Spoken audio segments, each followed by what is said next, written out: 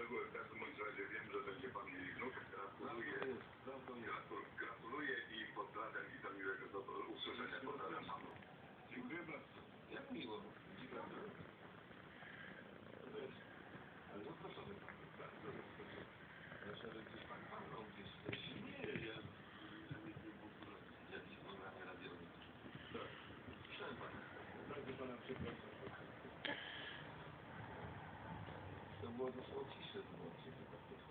To jest właśnie dlatego, żeśmy starali się nic nie mówić. Proszę pana, e, jeżeli o ciszy wyborcze, no to teraz tematy kompanijne. Bo trwa kampania.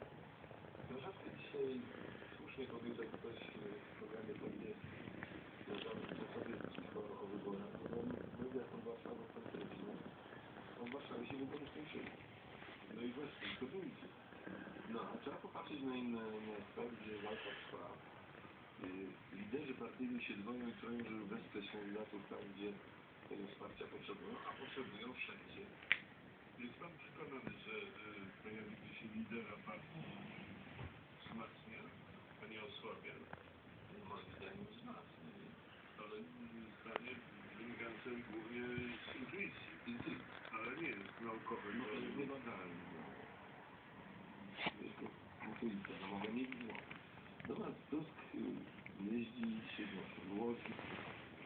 No i tam jest pytanie o pieniądze. imperialistyczny, amerykański i imperialistyczny. Yy, Pozwolę sobie na taką żartobliwą konwencję, bo pytanie, z jakich źródeł finansowana jest wizyta premiera w Polskim Polskim Mieście brzmi, e, powiem szczerze, niecodziennie. I jestem trochę zaskoczony formą tego pytania, powiem szczerze. Zresztą muszę powiedzieć, że nie otrzymałem tu sztab złota i kupię ze szmaragdami, więc cena nie jest zbyt wysoka, dokładnie wypijemy tą kawę. I oczywiście, jeśli yy, gospodarz uznaje ten wydatek za zbyt duży,